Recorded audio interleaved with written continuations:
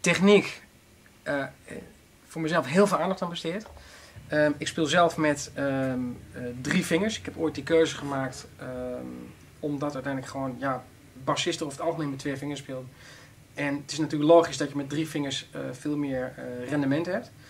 Het nadeel was daarbij dat ik uiteindelijk eerst anderhalf jaar met twee vingers heb gespeeld, waardoor het een hele tijd heeft geduurd voordat deze vinger als het ware geëmancipeerd is. dat is nu het geval, zeg maar. Um, dus drie vingers, dat is gewoon voor mij de standaard. het voordeel daarvan is dat ik nu uiteindelijk ook meer triolen georiënteerd speel en daardoor het, het, de manier van spelen ook weer net onderscheidend is van uh, wat, je, wat je algemeen hoort, zeg maar. En wat heel belangrijk is bij techniek, is dat je natuurlijk moet zorgen dragen dat je snaren stil zijn. Op het moment dat ik hier een eer speel en ik stop hem, dan zijn er allerlei snaren die nu meer gaan trillen, zeg maar. En daarvoor is demping van die snaren noodzakelijk. Ik heb ervoor gekozen om dat met de zijkant van mijn duim te doen. En je ziet ook dat waar ik ook speel, dat mijn duim altijd op die snaar zit, zeg maar. Dus dat is een heel belangrijk uh, dempingsmiddel. Voordeel daarvan is, ook dat mijn pols altijd recht, uh, recht is.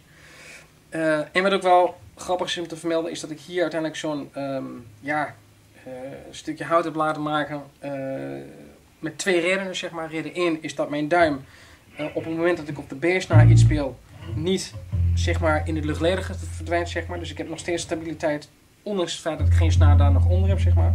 Dat is mijn heel belangrijke. En wat ook heel erg belangrijk is, is dat uiteindelijk bij het aanslaan van de snaar de vinger altijd valt op de vorige dikkere snaar. Dat doet hij hier ook, dat doet hij hier ook. Alleen als ik dat blokje niet had gehad, dan krijg ik hier weer instabiliteit, waardoor ik mijn hand als het ware weer terug moet sturen naar mijn instrument.